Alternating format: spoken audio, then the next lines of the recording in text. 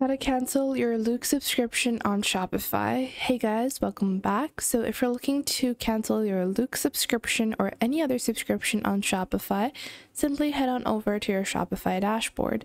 Once you're in your dashboard, click on settings on the bottom left. Once you click on settings, you're going to click on plan over here. Now, after you see your plan, below that you have your billing information.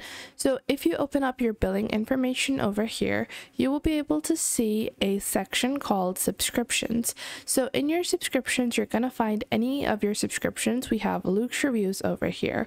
So you can click on view all over here and click on these three dots on the right and then click on manage. Usually subscription services give you a long runaround, so you're not going to find the cancellation button over here.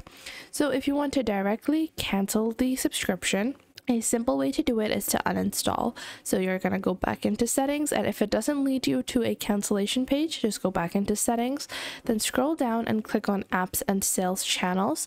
And then you're going to click on uninstall over here. And if you click on the three dots, it's going to give you the same thing. You can click on uninstall over there as well.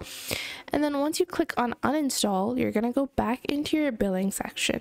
And once you go back into your billing section, you should see that your subscription should be canceled or removed removed. So I hope you guys found this video helpful. Make sure to leave a like and subscribe.